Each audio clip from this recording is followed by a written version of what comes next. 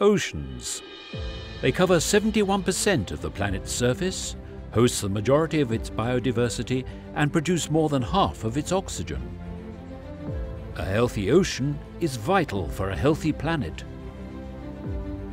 But the impacts of human activities are causing widespread ocean changes. These threaten ocean life and the livelihoods of more than a billion people. Nuclear applications are helping us understand and mitigate these major environmental challenges, especially ocean acidification and pollution.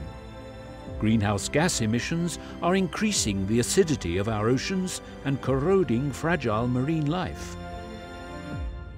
To better understand and measure these impacts, scientists are using the calcium-45 radioactive tracer technique. They set up experimental aquaria with seawater at different pH levels and add calcium-45 as a tracer to measure the difference in the growth of corals and shellfish. Gathering this data is vital to protecting the health of coral reefs, which are so critical to marine ecosystems and coastal communities.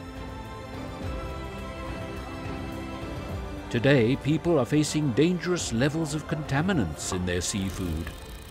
From heavy metals, pesticides, microplastics, and more.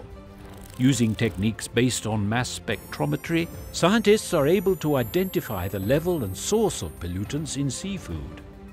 When analyzing a sample, they remove all its organic matter, leaving only the contaminants behind and then use specialized analytical instruments to determine contaminants present in the sample.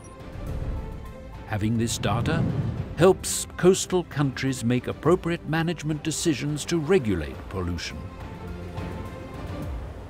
These nuclear and nuclear-derived techniques provide a unique window into understanding the processes behind ocean change, an understanding that can help us secure a healthy ocean for the future.